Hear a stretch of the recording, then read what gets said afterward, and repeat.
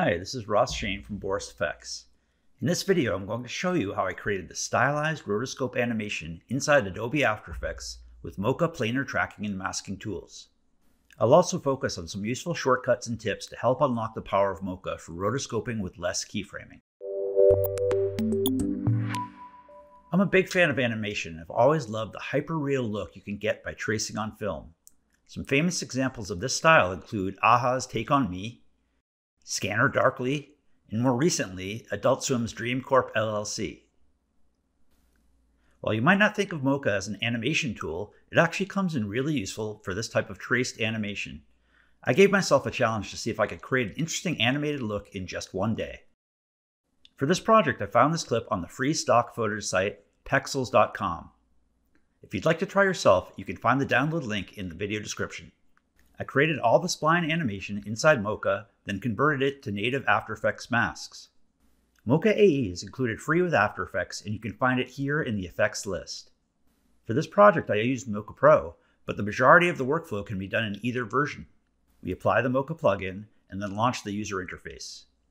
My basic goal was to break the subject into multiple planar tracking regions to let Mocha do the heavy animation lifting. In Mocha, we create a tracking search area with the spline tools. We set the tracking options and track forward. If we want to attach more shapes to the same track, we can draw a new layer and link it to the tracking. Depending on the object and its motion, we can save a lot of time taking this approach. Here you can see that I set up tracking layers for different areas of the face, the arms, the fingers, and the camera that move differently. Understanding the motion properties in the tracking tab is important, for roto can often help to turn off skew and perspective. For example, the ear is relatively flat and was tracked with skew and perspective. But for the areas that are less flat, such as the lips or the fingers, you can get better results by tracking only transform scale and rotation, then adjusting the shape over time. For larger roto projects, setting up an organized workflow can help for management and speed. The roto layout gives me a larger canvas and more room in the layer list to organize.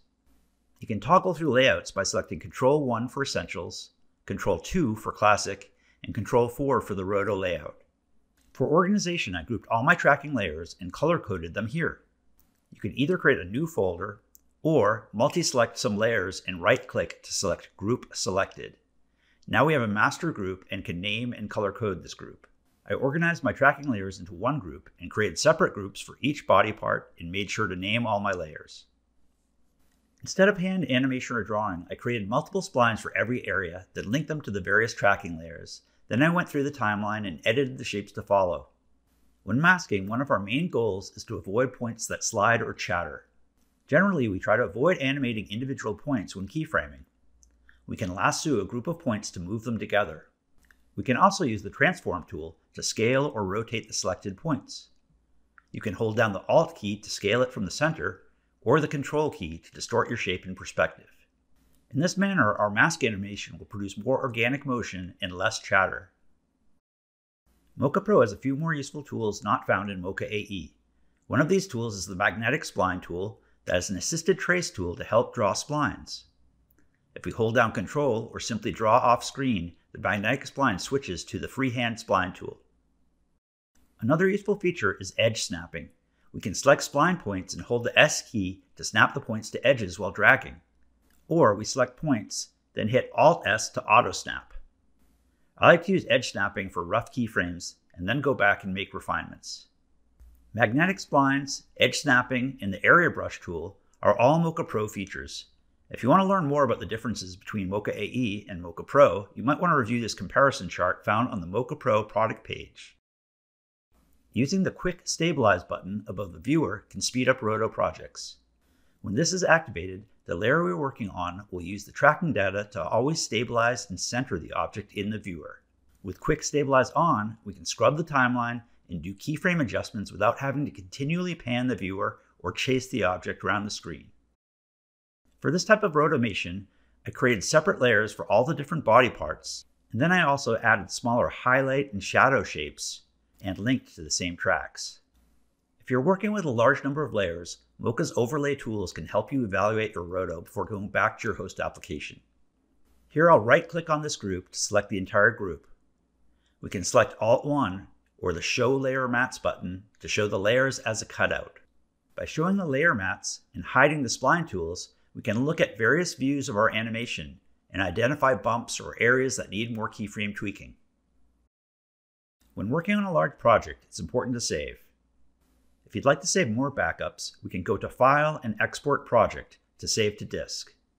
This gives us a Mocha project that can be opened in either Mocha AE, Mocha Pro, or even into the Mocha that's inside Continuum or Sapphire plugins. We can also change the autosave properties.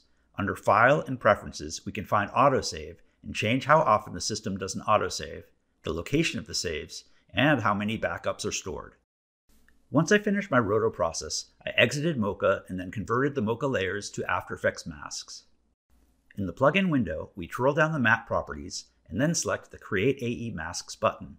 Since this is a large project, I use the All Visible button, and we can bring up a mini Mocha layer window here. In this manner, we can choose which Mocha layers we want to convert to masks without jumping back and forth between the interfaces. For organization, I duplicated my Mocha effect for each object group and put them on their own layer with the proper name. Then I created the masks for this group and copied them onto solid layers. This is an easy way to start playing with the color fills and opacity settings for each mask. For some of the more complex objects, such as the camera, I created a pre-comp to isolate the work. By organizing the project in this manner, I found that I could quickly jump back and forth between AE and Mocha when I wanted to make changes. And if I decided to add more animated masks for lighting effects, I could simply launch the Mocha instance for that object group. Then I would draw a new spline and link it to the track. While this video covers Mocha for animation, I do hope you find these tips useful for all kinds of masking and VFX work. Once you get the hang of Mocha, it's a tool that can save you literally hours of time on every project. To learn more about Mocha or any other Boris FX plugins, please visit us at our website. And be sure to explore our YouTube channel for tons of great training videos.